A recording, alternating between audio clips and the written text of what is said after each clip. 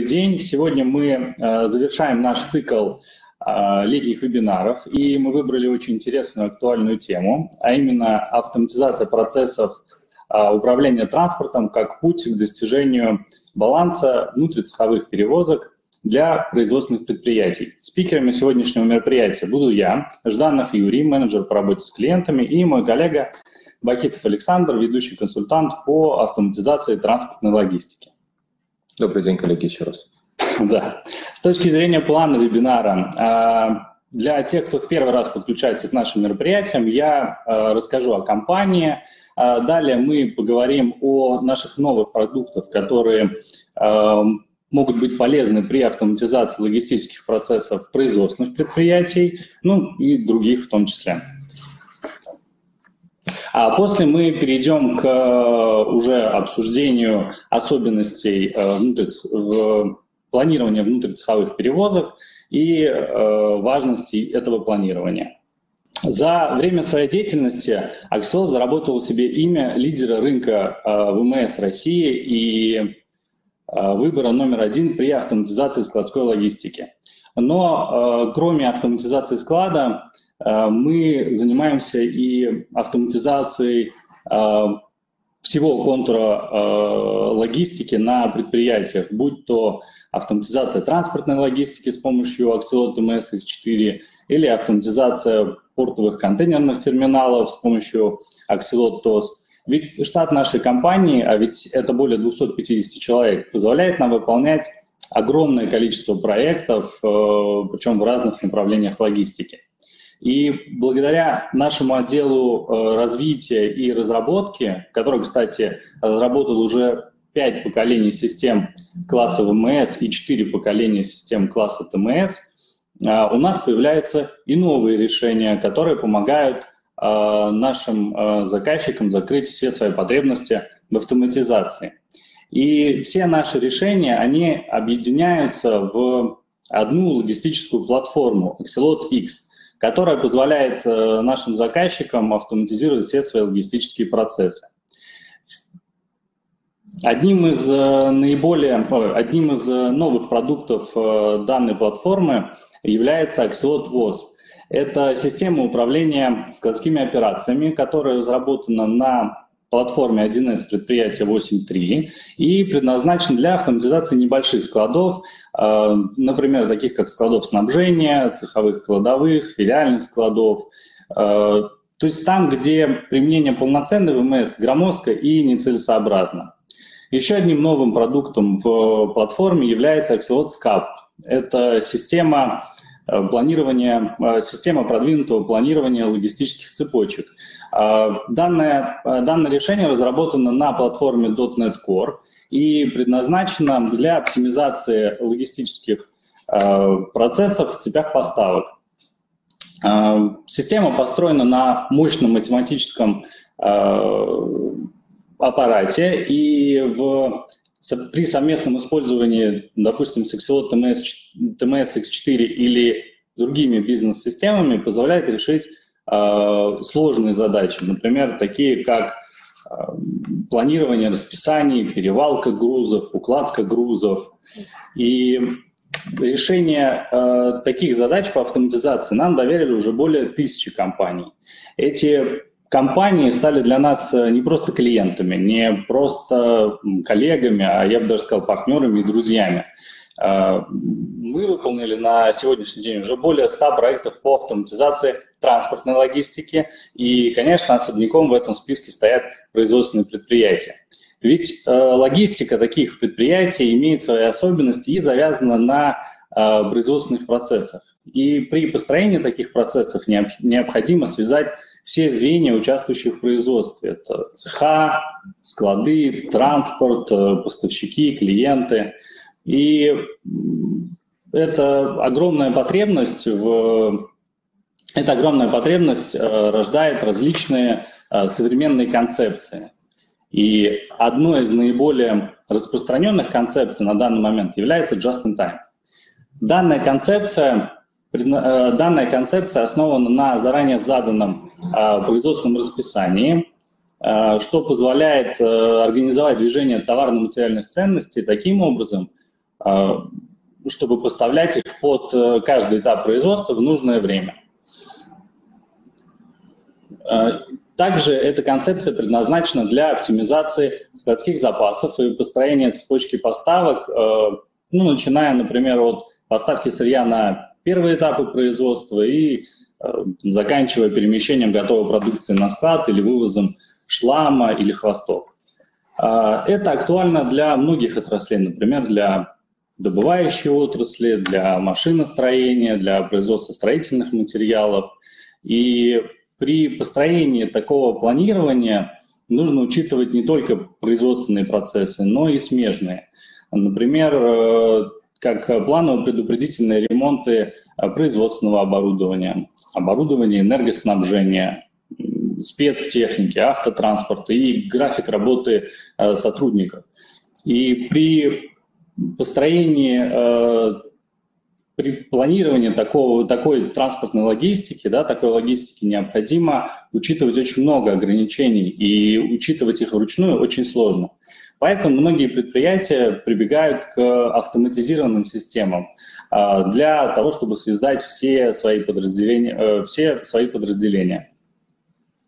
Еще больше автоматизированная система а, необходима в сложных случаях, э, когда необходимо принимать решения э, здесь и сейчас э, и независимо, имея полную картину происходящего. Да, такие случаи это могут быть случаи внештатных ситуаций, форс-мажоров, ведь как обычно происходит, техника выходит из строя всегда в самый неподходящий момент. И приходится жертвовать каким-то рейсом, поставкой или перевозкой э, ради более, ради более ценного рейса. Да? И кто будет принимать это решение? Кто будет э, определять ценность того или иного рейса? Э, ведь принятие таких решений, например, диспетчером или логистом, ну, как минимум, может быть не оптимально. Да? И тогда мы можем говорить про Э, применение различных автоматизированных систем класса ТМС, в том числе Excelot TMS X4. Ведь э, данная система поможет э, оптимально выбрать оптимальное решение или максимально правильное решение на основе заранее заданных алгоритмов и ограничений в системе. И ко всему, ко всему прочему еще и снизит нагрузку на ваших сотрудников при построении сложных цепочек поставки.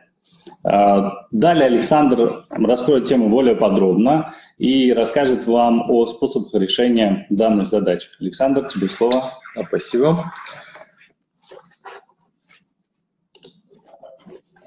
Итак, коллеги, а, начиная с теории, стоит отметить, что в нынешних условиях специалисты выделяют несколько видов перевозок. Это первое, да, логистика, связанная с обеспечением производством материалами, то есть снабженческая логистика – производственная логистика, ну и, соответственно, там а, бытовая логистика, ну и транспортная складская. Транспортная логистика, она, конечно, является ну, неотъемлемой частью э, любой области, да, будь это и э, производственная, бытовая, либо снабженческая, соответственно. А, ну и важно, да, наверное, отметить, что вообще неотъемлемой частью а, всех видов логистики является обязательное наличие логистического информационного потока, а, включая в себя как сбор данных о товарном потоке, их передачу, обработку. Такой системой, подсистемой да, логистики выступает наш продукт Axelot MSX4 при подборе ну, при выборе, да, наверное, а, нашего продукта возможно будет решить ряд проблем, с которыми сталкивается практически любое производство, а, где встает э, движение товаров и, соответственно, внутри а, завода движение материальных различных ценностей. А, как говорилось ранее, ТМС создано для разного сегмента предприятий, что дает нам, как разработчикам такого программного обеспечения, колоссальный опыт в части понимания процессов предприятия, выявления узких мест процессов, а также решения поставленных задач. Уже имея опыт с крупнейшими российскими производственными площадками, мы заранее понимаем возможные проблемы, с которыми сталкиваются наши заказчики. Ну и давайте тогда поговорим о них подробнее и о способах их решения. Первое, наверное, одно из важных проблем это является как раз ну, внутри завода да, нагрузка на пиковые часы. А, если сравнивать там внутризаводскую логистику и перевозки, осуществляющие доставки клиентам, то здесь стоит вообще отметить необходимость учитывать производственный, производственный процесс уже внутри завода и, соответственно, этот строгий механизм. То есть в рамках процесса у нас внутри заводской логистики меньше намного вариативности, возможностей там, да, как-то отклониться и в процессе там, оперативной работы там, быстро и легко принимать решения. Здесь, правда, большое количество различных факторов, которые могут э, повлечь за собой достаточно большие риски и финансовые потери. А, здесь, да, первая э, проблематика – это пиковые часы, это э, высокая нагрузка зачастую идет на утренние часы. А, здесь а, какой момент да, важно отметить? А, большое количество заявок, которые мы хотим выполнить в ограниченный промежуток времени и с ограниченным ресурсом, а, дает нам, во-первых, там, меньше вариативности и большую нагрузку на самого сотрудника, на логиста. И здесь э, важно да, отметить, что иногда такого логиста бывает, э, что не хватает. И как раз-таки ТМС как инструмент а, при работе именно, там, например, еще только на этапе формирования заявок а, поможет а, их обрабатывать быстро и плюс с меньшим риском да, нарушения баланса между цехами.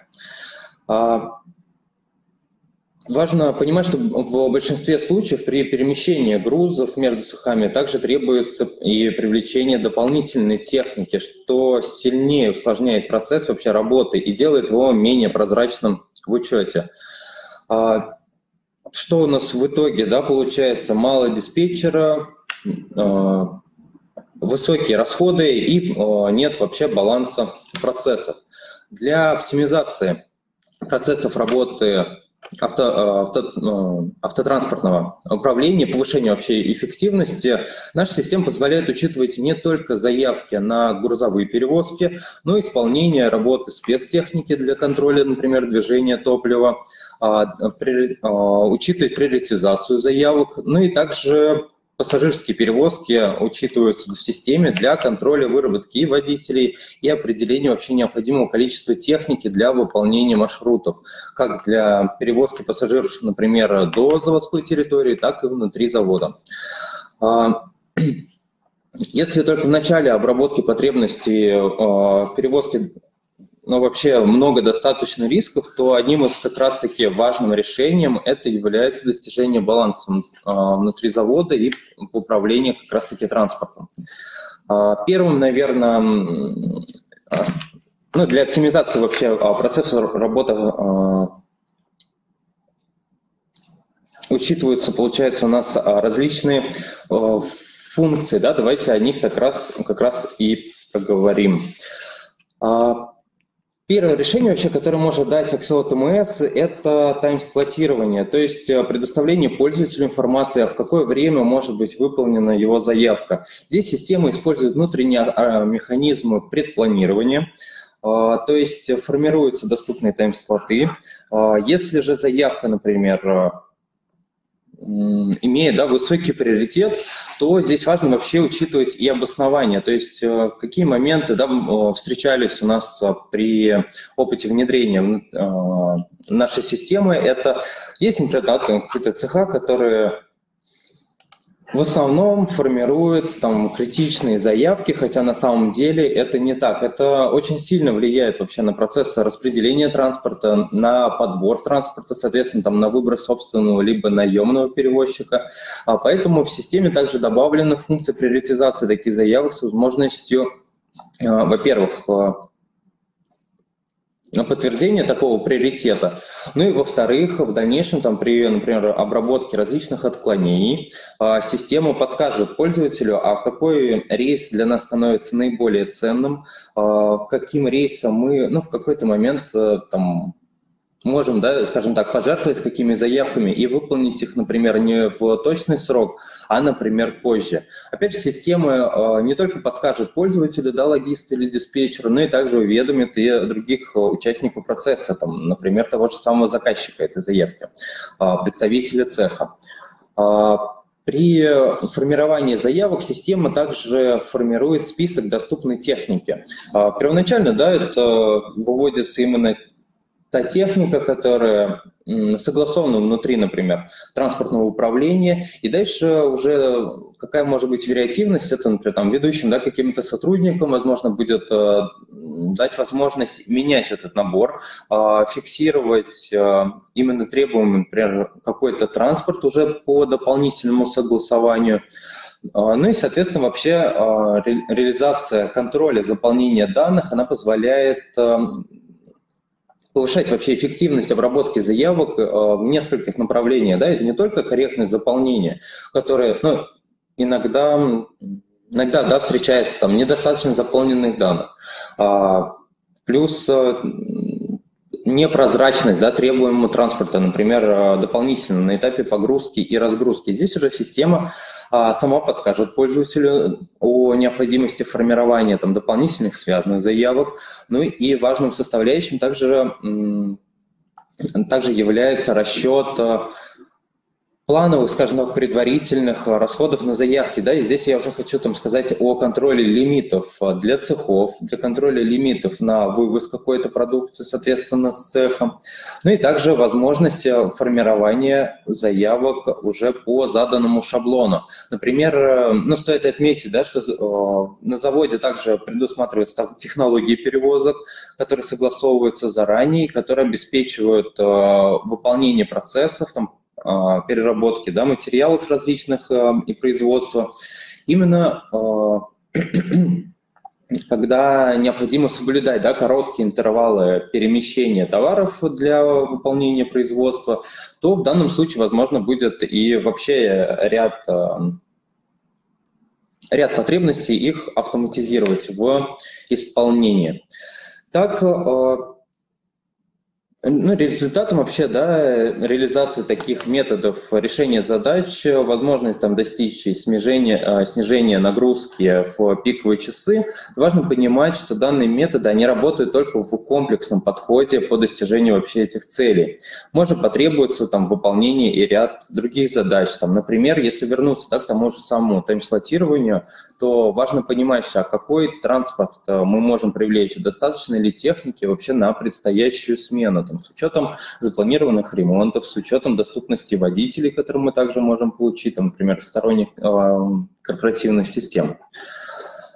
А, доступность транспорта, именно корректный учет данных а, об автомобилях, данные о водителях позволяет вообще достичь автоматизации процессов и упрощения работы сотрудников предприятия. А, очень важно отметить, что ТМС в информационном контуре живет ну, не одна, взаимодействует с различными внутренними корпоративными системами. Это может быть, к примеру, и система класса ERP для получения как раз информации о графиках работы сотрудников. На основании такой интеграции возможна реализация различных сценариев э, исполнения процессов. Например, определение, определение автоматическое определение а, количества водителей при распределении заявок на транспорт, автоматическая привязка таких водителей, например, к машинам.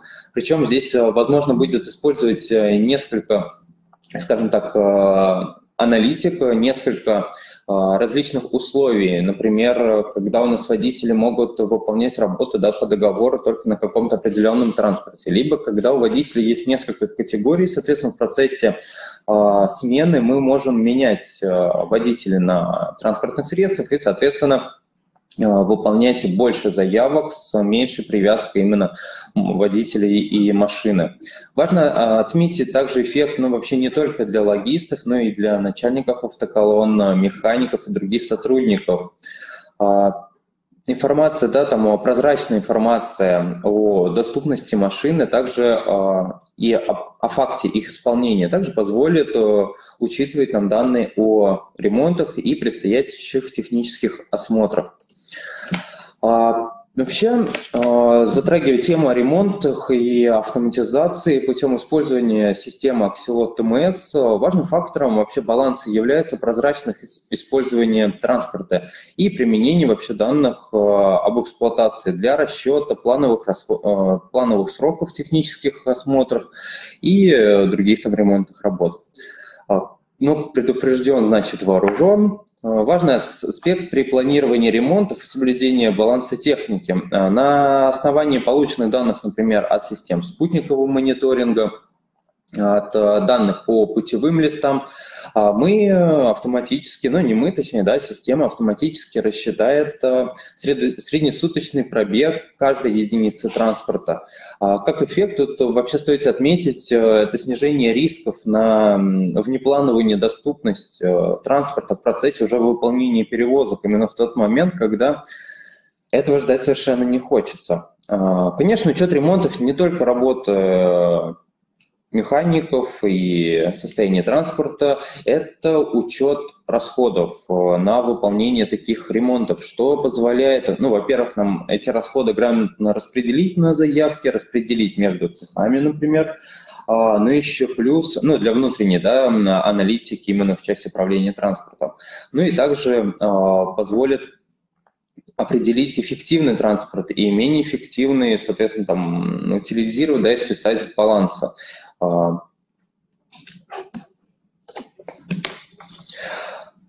если, ну, первое, да, при распределении вообще транспорта, при работе вообще с доступностью транспортных средств, а, здесь а, наша система позволяет использовать автоматическое планирование. ТМС как инструмент да, для логиста позволяет э, выстроить именно максимально эффективные маршруты. Здесь э, важно отметить и учет приоритетов э, заявок, тот баланс, который мы вообще достигаем при взаимодействии между цехами, должен быть применен максимально верно. Тут важно учесть человеческий фактор, большое количество ограничений в цехах, а также повышенную нагрузку на логиста. ТМС позволит снизить как раз-таки зависимость от сотрудника, перенести все эти данные ограничения уже в сам алгоритм, что позволит, этими ограничениями управлять в процессе как подготовительных работ, так и, например, в процессе уже выполнения наших заявок. А, стоит вообще отметить, что территория завода, она, как правило, дос, имеет достаточно большое количество цехов, которые имеют ему свою специфику, свои особенности, например, как ограничение проезда, а, пропускная способность, э, плюс различные участки дорог с ограничением а, проезда крупнотоннажного транспорта. А, здесь э, вообще в зависимости от, от приоритета заявок, видов грузов, которые там требуется перевести, она она может снизить а, эффективность самих маршрутов. То есть, да, одна из также задач – это минимизация проезда там, между цехами, это снижение используемого, используемого транспорта. Она а, достигается уже при там, процедуре да, там, той же самой и тайм-слотирования. А, ну, вообще, выполнив да, там, все процедуры планирования для следующей смены, важно отметить задачи, которые выполняются уже на фактическом выполнении рейсов. Это контроль, э, ну и вообще, да, контроль э, над путевыми листами, это если мы говорим о собственном транспорте. Например, интеграция с медицинским осмотром, она позволит контролировать выдачу путевых листов, определить отклонения и сформировать оповещения для ответственных сотрудников. Важно отметить, что благодаря эффективной маршрутизации здесь мы достигаем минимизации объезда между цехами. А, и также важным результатом является снижение вообще расходов на топливо и общую выработку транспорта. Система Axelot TMS а, позволит а, учесть различные типы путевых листов. Это спецтехника, это грузовой транспорт, это легковые автомобили – а также рассчитывать нормы расходов автоматически уже на основании заданных норм и с учетом дополнительных коэффициентов расхода.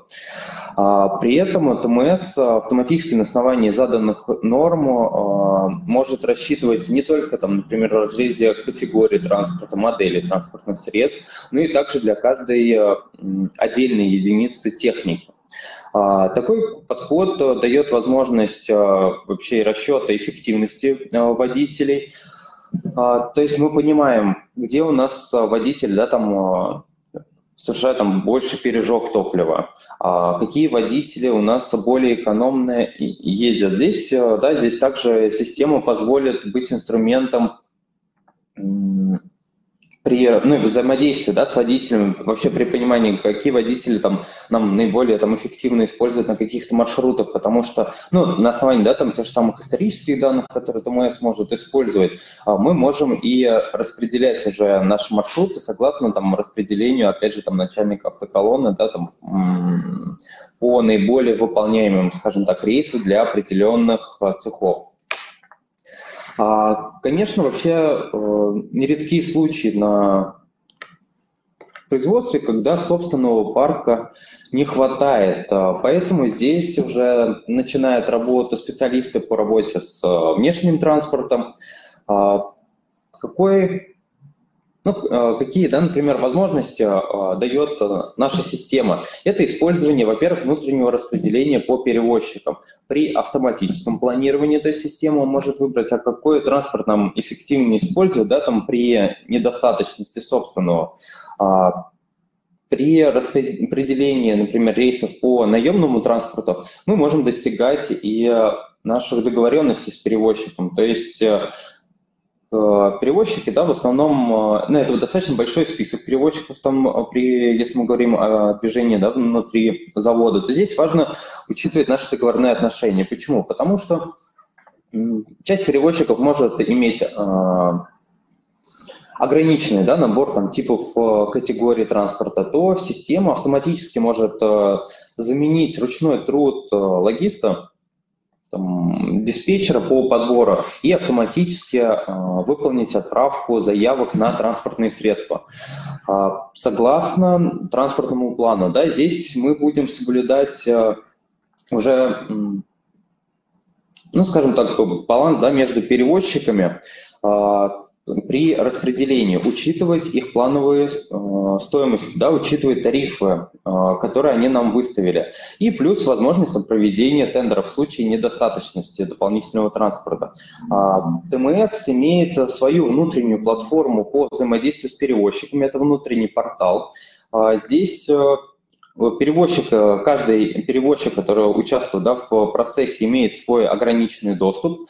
И э, здесь какие, да, например, задачи возможно будет решить с помощью такого с помощью такой платформы. Это, во-первых, снижение, опять же, да, там нагрузки на логисты, то есть мы переносим часть работ по заполнению данных, по откликам на перевозчика. А второй этап – это возможность оперативного да, там, а, уведомления сотрудников в случае там, не предоставления данных о транспорте, в случае, там, например, не предоставления данных о водителе. Здесь э, важно еще отметить также работу, взаимодействие, да, там, работы со службой безопасности. То есть, если, например, заводится у нас какая-то информация о новом транспорте наемного перевозчика, о водителе, который будет выполнять данный рейс, здесь, возможно, уже будет интегрироваться с системой, например, там, да, по контролю доступа, а, формировать пропуска автоматически также там, на КПП предприятия и передавать эту информацию, опять же, через личный кабинет а, перевозчика, а, минуя общение там, через электронную почту, да, или там вообще прямое общение там, по телефону с, а, ну, между логистами, да, соответственно, перевозчика и завода. Какой момент да, автоматизации также важно отметить, это возможность через а, данный портал видеть, а, а, видеть наши видеть предложения перевозчиков, например, на выполнение там, той или иной перевозки. Да, какой там кейс хочу рассмотреть. У нас в процессе там, оперативного выполнения, да, там нередки случаи, когда появляются там, какие-то да, отклонения, там, задержки на производстве, задержки водителей, то это очень сильно сказывается в дальнейшем вообще на всю следующую цепочку рейсов. И э, данный портал, он также позволит автоматически, например, формировать э, уведомления для перевозчиков, если нам необходимо уже транспорт день в день. Тут какой, какую возможность да, можно предусмотреть? Это разграниченный, например, учет да, там, транспортного плана вообще на ближайшие смены, и также предусмотреть, скажем так, э, Возможность иметь резерв транспорта, например, там даже наемного с перевозчиками, которые могут там достаточно оперативно предоставить нам транспорт на выполнение заявок. Здесь система уже определит автоматически да, там и критичность этих заявок на основании приоритизации в зависимости от цеха, ну и самого, самого производственного процесса внутри завода. Поэтому использование как раз-таки да, там в едином, скажем так, информационном пространстве функционал, оно позволяет вообще вести и прозрачный учет по взаимодействию. Тут э, возможно и настроить там различные там, KPI-переводчиков на основании э, их работы, опять же, да, там через систему, э, на основании их корректности выполнения рейсов, что также достигается, там, например, путем интеграции данных через там, спутниковый мониторинг с использованием мобильного приложения. А, да, мы там, э, мы плавно как раз переходим к нашему исполнению рейсов, и говоря о спутниковом мониторинге, да, о мобильном приложении, здесь важно отметить оперативность получения данных. Да, учет, конечно, ручной, там, логист э, или даже там представителя цеха, да, там, как это бывает, там часто там вот машина там приехала позже или не позже, вот, э, оно может быть, но все-таки не в крупных предприятиях, не когда мы говорим о каком-то производстве. Здесь э, наша система позволяет получать информацию от мобильного приложения, а, в рамках которого водитель как раз фиксирует информацию о прибытии, фиксирует, какой груз был погружен, какие проблемы возникли, соответственно, там на погрузке. Причем мобильное приложение, оно работает не только для собственных водителей, но и также для наемных. А, здесь э, важно отметить, да, вообще, вообще а, всю работу водителя через мобильное приложение. Минимизируем общение с диспетчерами. А, водитель самостоятельно авторизуется в мобильном приложении и видит, а на какую точку ему, соответственно, необходимо будет там, прибыть. Первое, да, там это, например, при начале смены у водителя выводится информация, какие рейсы ему необходимо выполнить, какое транспортное средство ему назначено на текущую смену. Ну и, соответственно, здесь э, важный момент выступает э, э, интеграция дополнительно, например, там с электронной системой да, медицинских осмотров. Здесь получение фактических данных также нам в дальнейшем позволит управлять отклонениями по маршрутам, ну и, соответственно, выводить информацию о проблемах при работе с водителями, соответственно, оповещать нужных сотрудников. А, говоря о мобильном приложении, также стоит отметить возможность э, изменения маршрутов, например, водителям по согласованию. То есть у нас здесь выстроена достаточно а, гибкая а, модель вообще взаимодействия через приложение водителя и логиста. Система позволяет там, на основании тех или иных действий водителя формировать различные задачи для логиста, например, по изменению маршрутов, по согласованию, там, например, а, проезда на другую точку. Здесь э, там, например, в производственных, да, каких-то металлургических, например, предприятиях а, зачастую бывают случаи, когда заявитель, формируя заявку, не знает, например, в какой конкретно, да, там, ворота цеха необходимо будет подать машину, либо где выполнить разгрузку там того же Э, того же самого там, шлака, да, там, шл, э, под какую яму необходимо будет подать транспорт. И данная информация, она зачастую появляется уже э, в рамках смены, когда водитель уже выехал по рейсу. Поэтому мобильное приложение, оно здесь также позволит учитывать эти изменения, соответственно, прозрачность движения транспорта, Почему водитель поехал там по незапланированному да, маршруту, а по измененному. А, и плюс ко всему здесь важно учитывать э, данные, да, которые мы а, можем выводить э, водителю вообще в самом мобильном приложении. То есть, э, будь это наемный водитель, да, который там впервые приезжает на завод, здесь могут быть определенные сложности по движению.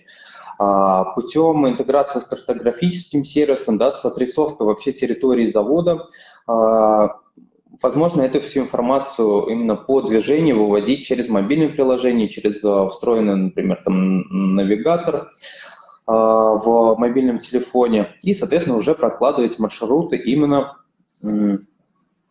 и, соответственно, там прокладывать маршрут именно по заданным ограничениям там, картографии, да, и в зависимости от ограничений самого транспорта.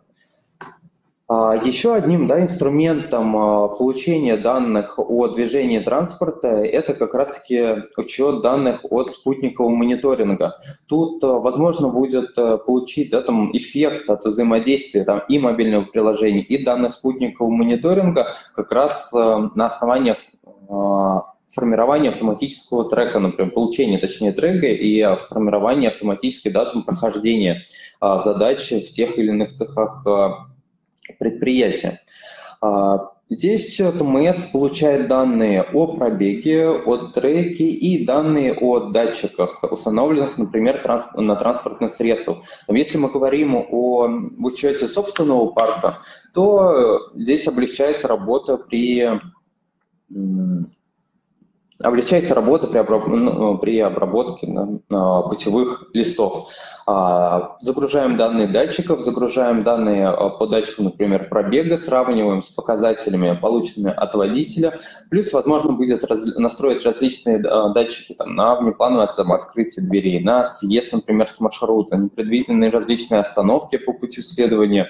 Данные, данные функции, они позволят ну, быстро и эффективно принимать те или иные решения. А, плюс, как говорил ранее, да, там, в зависимости от отклонений а, система подсветит наиболее критичные отклонения по процессу и также а, подсветит, подсветит наиболее критичные рейсы, которые как раз-таки попадают под это влияние. Здесь ТМС уже как раз выступит, во-первых, как инструмент для пользователя для принятия решения, как нам необходимо правильно да, перемаршрутизировать, ну и также имеет возможность выполнять эти эти задачи автоматически. А, а, соответственно, еще какой момент по части да, там, спутникового мониторинга возможно будет получить при работе, например, с наемным парком. А, если, если предусмотреть да, договоренность, например, о получении данных трекинга по наемному транспорту, возможно, будет эти данные также получать от внешних э, систем спутникового мониторинга. А наша система позволяет вести работу там не только с одной какой-то системы. Возможно, будет интегрироваться различное неограниченное количество систем спутниковых мониторингов в зависимости от того, как, какие как раз-таки а, системы применяются у наемного парка. Здесь а, предусматривается и контроль в этом случае и движение транспорта внутри цеха, контроль а, движения транспорта через а, контроль-пропускные пункты. Ну и, соответственно, как там тоже ранее говорил, это возможность формирования автоматического там, и пропусков для каждого э, транспортного средства. Ну и э, формирование там дополнительных уже э, бланков да, там для заполнения уже внутри цехов. А, так, а, ну и, соответственно, а, подводя вообще итоги к вышесказанному, да, здесь при, при автоматизации процессов важно учесть, во-первых, и гарантированный учет показателей да, а, спланированных маршрутов. Это снижение пробега автотранспорта с минимизацией привлекаемого количества транспортных средств. Здесь в этом случае мы оптимизируем и затраты на арендуемый парк за счет соблюдение да, это, того самого баланса между цехами, когда мы учитываем и приоритеты, и значимость да, цехов, и, соответственно, критичность вообще самой перевозки.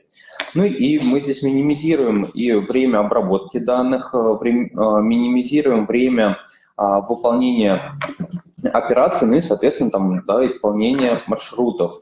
А, плюс важно отметить, это пере, э, переход к системе да, о учете да, различных ограничений, то есть мы минимизируем сам человеческий фактор, мы уходим от самой привязки от человека, от э, сотрудников, да, как часто бывает, которые уже очень долго работают и там любой, да, там выход в отпуск либо больничный, он сильно сказывается на качестве обработки э, данных. Ну и, соответственно, это оптимизация вообще затрат внутри э, транспортного управления, которая в дальнейшем возможно, будет передавать там, опять же, да, там, в рамках интеграции в финансовые системы уже для расчета, там, пересчета там, тех же самых натуральных уже показателей, да, финансовых и формирования а, различных лимитов и бюджетов цехов а, для привлечения транспортного управления.